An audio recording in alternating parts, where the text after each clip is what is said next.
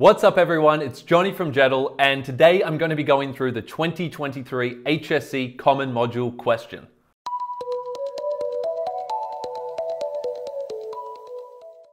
So let's have a look at what the question actually was for 2023. For the Human Experiences essay, the question was, a text can ignite ideas about collective human experiences that enrich our view of the world. To what extent do you agree with this statement in relation to your prescribed text? In response, make close reference to your prescribed text. Okay, so in last year's common module question for texts and human experiences, you were actually given a generic question that could apply to any text. Sometimes you're given questions that are specific to the text that you have studied. In this case, everyone got the same question and they had to apply this statement, this question, to their particular text. So it's important to note that this is one of those more general questions, and you can get these types of questions from time to time for the common module, but also module A and less likely module B, but module A could also give you a more general module-based question that applies to different texts, or sometimes for common module, module A, and especially module B, you can be given a very specific question about your prescribed text. So you need to be prepared for both and practicing those types of questions. Nonetheless, this was the question for last year. How would I approach it? Well, the first thing to note is just because it's a new question, maybe it's a question that you weren't expecting or that you haven't seen before. It's probably one that you haven't seen exactly in this form before, but you've hopefully practiced some different types of questions similar to this where they've clearly taken some key words from the rubric about igniting ideas, collective human experiences, and enriching our view of the world, because that's where the questions actually come from. So if you study the rubric, if you go and have a look at the module description for the common module, then you'll find the kinds of terms that they will include in the essay question. So that's your biggest hint. That is your biggest tool there. In addition to looking at practice questions and past questions, it's looking at the actual rubric that includes the types of words that they will effectively mesh together, they'll make these combinations of key terms like motivations, behaviors, paradoxes, inconsistencies. They'll pick a couple of them, put them together into a question, and that's what you'll be faced with on the day. So you can have a look at all those key terms and play around with different combinations, and that will give you some good insight into the types of questions that you'll be asked. But aside from that, the point that I really want to make from the outset is just because you haven't seen this question before doesn't mean that you can't use the material that you've been preparing all throughout the year. Otherwise, what a waste. Just because it's a new question doesn't mean your argument, your core understanding of the text is irrelevant. So don't throw everything that you've learned and prepared away. Just be prepared to be flexible, to adapt to the question, to use the key terms of the question all throughout your response, but be tying them in with the core points that you wanted to make anyway. That's the key. No one who's getting full marks is going in there and writing something absolutely from scratch that came up with all the wording. They've practiced different questions again and again, and they're using the same core quotes, the same core points. They've got sophisticated insights that they've prepared over time. They're using a course structure that they were already intending to use, but they're masters at rewording their points, at reframing, at re emphasizing, so that the question and the key terms of the question become the core focus of their essay. So you in effect want to write a new essay. You don't want to write a pre-prepared essay, but you're using pre-prepared or prepared material to get to the new essay. So that's the important thing. It's fine to familiarize yourself with an essay. It's fine to have memorized quotes and techniques and key effects. And of course, you should do that. You don't want to forget quotes or key elements or key points that you want to make on the day. You want to be fast on the day given the time constraints. So have memorized certain material, but don't regurgitate that because it's not going to answer the question. You want to use everything that you've perfected over time, that you've timed, cut down, and practiced doing new questions with, and you want to take all of that and then you want to be rewording everything on the day to differing extents based on what was already relevant. And then you want to effectively have created a new essay, a fresh essay that was able to focus on the key terms of the question you were presented with. So that's going to be your mindset. The mindset is not to get in there and then figure out the structure and to write a plan. You have no time for that. You're going to use what you've prepared and hopefully you've done the preparation because, as I've said before, English is entirely about the preparation before the exam. It's preparation, it's a preparation game. So, hopefully, you've got all your materials memorized or at least familiarized. And then you have practiced doing lots of different questions, and then you're nice and flexible, you're open minded about how to adapt to different questions, and you're prepared to do that on the day. So, you need to have the skill set to adapt. I'm gonna go through how you can actually unpack the question. Now, one thing I do want to note about this particular question is that it is a to what extent question. It says, to what extent do you agree? You do not need to say, I agree to a large extent with this statement. It should be heavily implied from your argument that that is your perspective. And we will know by how strong your argument is or just what your argument is the extent to which you agree with the statement. So be clever, be deliberate with the way you word your argument, like try and assert that you're agreeing with the idea that the text is about collective human experiences, but don't say, I agree that the text is about ideas, about collective human experiences. You would say something like, the text ignites ideas about collective human experiences, but, you might say, but, it also emphasizes the significance of certain individual human experiences, and then you might specify what they are. So in that statement, it's like, okay, you're agreeing that there are some important collective human experiences, but you also said, but, and then told us an individual human experience. So the best students will agree, they'll, they'll clearly show how they're agreeing with the question without saying the word agree. And they won't say I, don't say personal language like that. Keep it nice and formal and academic. But they'll make it clear that yes, they're clearly going to use the words of the question and say, here are the collective human experiences. They're going to detail that out. But then you'll see certain language occasionally saying however or but. Or you might say, not only does Orwell enrich our view of the world, but he also does this. And then you say something else he does based on those collective human experiences. So try and use language like not only or but or well also or however if you really want to extend yourself because that's showing that yes, you can agree with the question and you show your agreement, but maybe an extension of the question. Show how you're going beyond the statement, saying, oh, Orwell doesn't just do that, he also does this. And I'm using Orwell and 1984 as an example here, but you could use that for any text or author.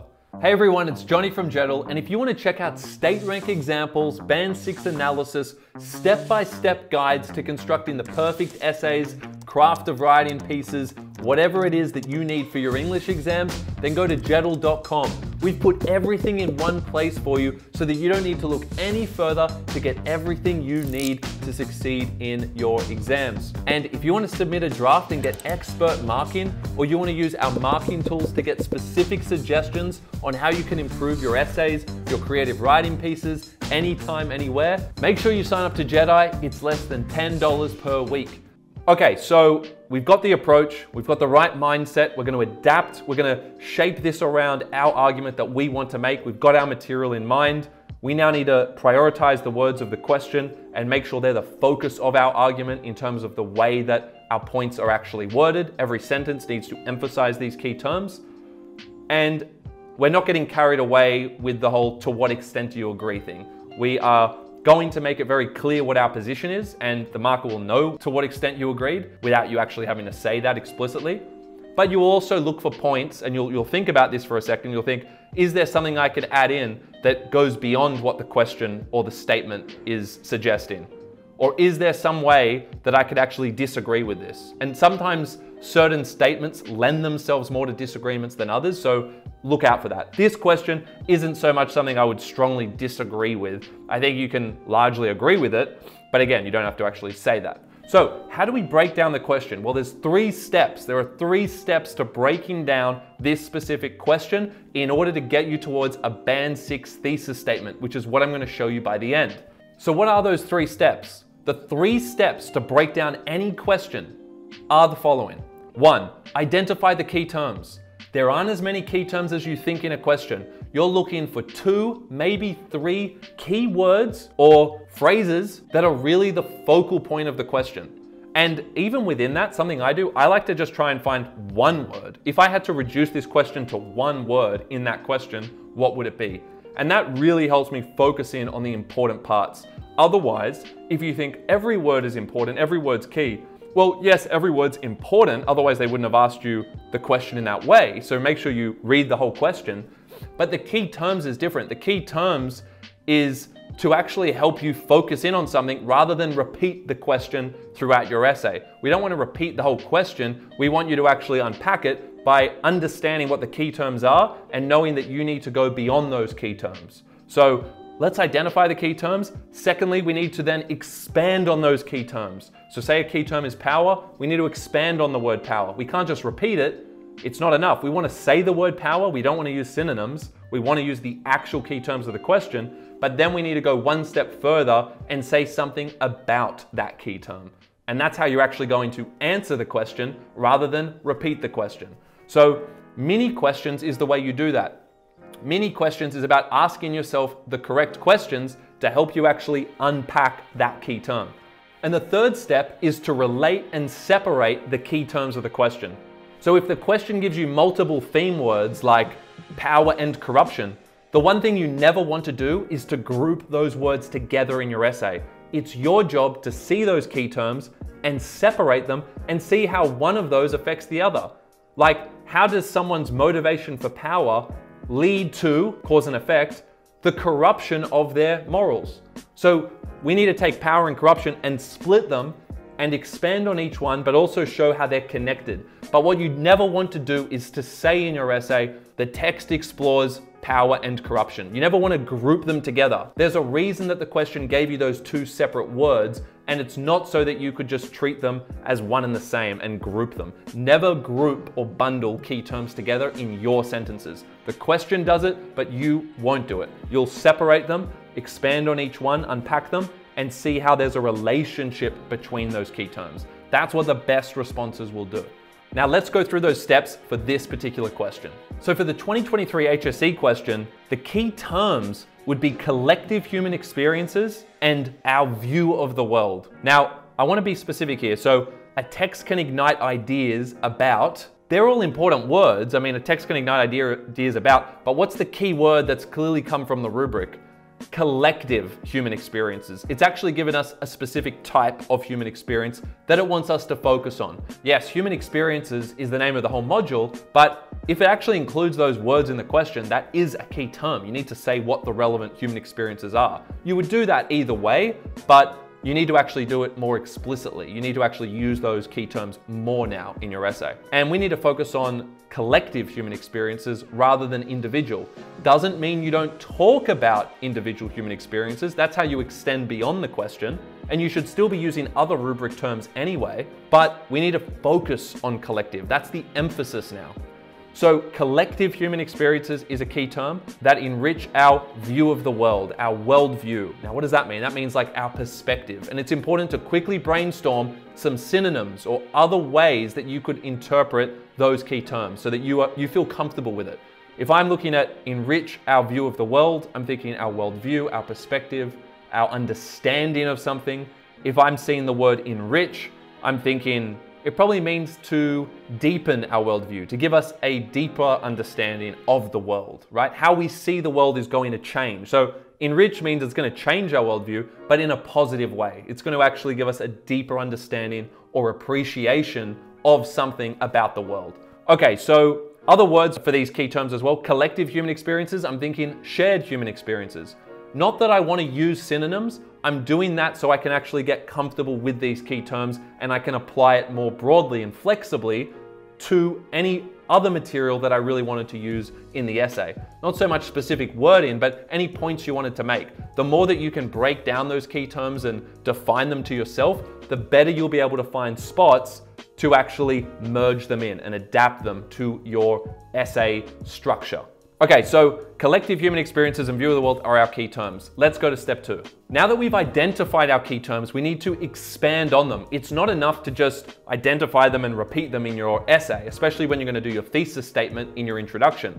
So what we need to do now is ask ourselves certain mini questions, micro questions, like what or what type, like how, like why, like so what. We're gonna ask those questions about each key term so that we can actually provide a specific insight about them so that we can say something specific that goes beyond the words of the question. This is how you will avoid repeating the question. This is how you expand on the question. Even though we want you to use the exact words of the question in terms of collective and worldview or view of the world, you still need to add more to those. You need to expand on those. So if you ask questions like what or what type, that allows you to actually define what type of collective human experience it is or what the relevant experience is in your prescribed text. So we're going to go through an example of that. And an example would be what type of collective human experience is in 1984 or The Crucible or Merchant of Venice? Well, in 1984, a type of collective human experience, so an adjective or describing word that we can put before the word collective, is going to be something like oppressive it's an oppressive collective human experience when Big Brother is controlling everyone. That's very oppressive. You don't feel like you're very free. Okay, great. So I'm going to use the word oppressive before the word collective so that I can now provide a little bit more specificity. I'm actually now expanding it. I'm adding some words around it. So the text ignites ideas about oppressive collective human experiences, but what are those human experiences? Human experiences of what? Or Let's just narrow it down to one key human experience and we can refer to other collective human experiences throughout the essay. So let's just get it down to one. An example here, what type of collective human experience? We're gonna put an adjective like oppressive before the key term collective human experience. We're then gonna use the word of so that we can answer the question what? What human experience? The human experience of what? This is how you're gonna break it down. So we're gonna say an oppressive collective experience of something. Maybe is it psychological control? If we're thinking about 1984, is Big Brother trying to control you? For your prescribed text, think about what that core human experience is that possibly is one of conflict. That's the problem. What's the problem in your text? What's the challenging human experience in your text? Because it's always good to start with that broad challenge in perspective, and then you can work towards the resolution if there is one. We can also ask the so what question. So what means why should we care? What's the significance of that? So just because 1984 is about an oppressive collective human experience of psychological control, note how I just really expanded on the words of the question there. Why should we care about that? Well, because if you have an experience of psychological control where someone's controlling your thoughts, you are not going to have individual freedom. So watch how we actually break this down now. We're going to use an adjective, followed by the key term, followed by of, followed by something specific. Here we go. It's an oppressive collective human experience of psychological control. Notice the word of forced us to put something in there. That's what you should all be doing after you use a key word. And then we put comma, which threatens individual freedom. Now that's just one example that's pretty broad, but at least you're seeing how we're answering the what type, oppressive, what human experience, psychological control, and so what? Because they were the most relevant mini questions. You don't have to answer all of them. They're just to give you food for thought so that you can actually expand when you incorporate the words of the question into your essay. So every time you use a key term, you can at least put an adjective before it that's relevant, and you can at least say something more specific about it after. So here, it threatens individual freedom. Okay. What about the other key term, our view of the world? Let's have a look at that one. Okay, so this is about how those ideas enrich our view of the world? Well, what type of world is it? Notice how we just keep asking these questions. What type? It's a pretty unconscious world. Now, for those who are familiar with 1984, you'll understand that unconscious, people aren't that aware of what's going on. And that's the whole point of the novel, that people need to wake up. People need to realize that they're being controlled, that Big Brother or dictators in this case, like Stalin and Hitler, they're the kinds of people who are going to control your thoughts. They're going to control your understanding of the truth. They're going to manipulate reality. So the world as it is is probably pretty unconscious, unaware of how bad the situation has gotten. So I'm going to use that adjective. You could use other words like naive or ignorant or disempowered, anything that seems relevant to you. And by the way, the way that you answer these mini questions should be based on the kind of material that you would have in a draft essay. Use what you already have, use your current understanding to answer these questions. The next question that you might ask is, what world is this? So you've got the type of world. If we're talking about our world, our view of the world, And in that case, we're thinking about the audience. We're thinking about when the text was written around 1949 after World War II for 1984. Well, what world is that contextually? Well, a good adjective for that is post-war. If it's after World War II, we call it post-war. Or maybe you say early Cold War. We can use an adjective there to actually label the type of world that we are talking about when we talk about our view of the world. The phrase view of the world, right? That's quite a long phrase with a lot of words. You'll have a much better chance of providing a sophisticated breakdown of a question if you break those words up a little bit. So even though it's view of the world, you could rephrase that as world view, but you could also just say a type of view of the type of world. Like you don't have to always say view of the world, view of the world. Break those up, separate those words up a little bit because the fewer words that there are that you're focusing on, the easier it is to expand and be flexible. If you have big chunky phrases that you're trying to expand on, that becomes quite limiting. So it's good to break that phrase up in this case. And then finally, how? How is our view of the world enriched? Well, it teaches us about the danger of totalitarian leadership. That's the type of leadership in 1984, for example. Think about what the significance is in your text? What's a lesson that you learn? What, what are you being enriched with? I bet in any draft essay that you've prepared, you talk about what the understanding is that people are being given, or what is the key lesson or insight? What's the key takeaway? I bet you already have that. You should already have that. That's what you then use in this part of the sentence, but you can retain the same point that you originally wanted to make. So let's look at an example. For our phrase here, we're going to say that these ideas they enrich the responder's unconscious view of the post war world. See how we broke those down before? Instead of just saying view of the world, we're saying it's an unconscious view of the post war world. So break up the phrase that we've called a key term and put in some specific adjectives, some describing words to give some more specificity to your answer. This is what the best students do. So just think, what type? What type? What type of view? What type of world is it? If you just keep asking what type, you're already halfway there. Then you need to expand on the other side. And you can see here, we're saying, well, what have you been enriched with? It's enriching you with an understanding of the dystopian potential of totalitarian leadership. That's what your view or understanding of the world is enriched with. It's understanding how bad things can get with the dystopian potential of totalitarian leadership that's the something specific that you should always have. And the word with in this case has operated like our word of. So it's not always going to be of after the word. Sometimes it's going to be with or between. But there's going to be some word that you should use after the key term that then forces you to expand on it with something specific. So they're the first two steps. The last thing is we need to relate this stuff together. So let's have a look at that. Okay, so the last step is we need to relate and separate those key terms. Now, the key terms in this question are pretty much already separated because the question kind of divides them up into collective human experiences that enrich our view of the world. So it's not like you have two theme words next to each other, like power and corruption. Sometimes you just get two keywords with the word and between them, in which case you really need to separate them.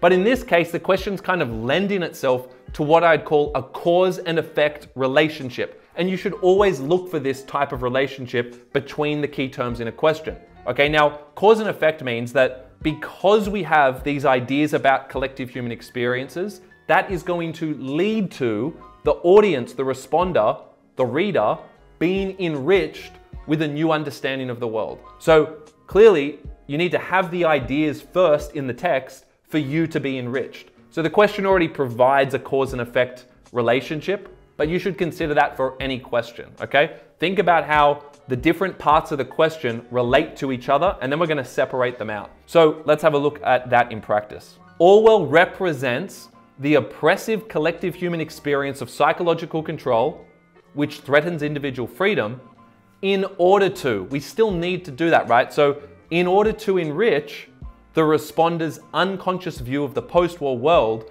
with the dystopian potential of totalitarian leadership. Hopefully, you are now seeing how it's all coming together. We're thinking about the key terms, we're thinking about how we can break them down, and now we're gonna put them into this cause and effect relationship so that we can see how everything works together. All right, I think we're ready for it. Band six example, let's have a look at it. So for this example, all we're adding in are just some formalities. So in his prose fiction novel, because you should always say the exact text type, the exact form of the text, in his prose fiction novel 1984, it's 1984 in words, not digits. And then in brackets, you also need to have the date, the date of publication, which you can just look up. It's always good to put the date of publication in. You only have to do all of this at the start, and then you can just refer to the author's last name when you say what's, what's happening. So Orwell suggests, etc. So in his prose fiction novel 1984, George Orwell represents, we're just using represents, I know that the question had ignite ideas about, but something you don't want to do is use the word ideas. I'd rather just give the idea. We've focused on the more important words here, and that's what the markers are really looking for. But where you can, if you can see a spot to get ignite or idea in, do it, but don't say the word idea without actually saying the idea that and say the actual idea. That's the problem with using the word ideas. Orwell represents the oppressive collective human experience of psychological control. You can see where I've used the actual keywords of the question. We're not using synonyms, we're using the actual keywords.